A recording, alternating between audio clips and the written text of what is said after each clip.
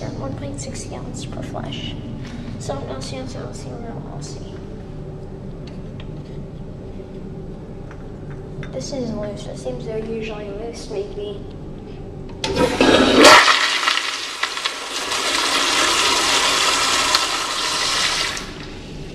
This one has a better balance, it seems.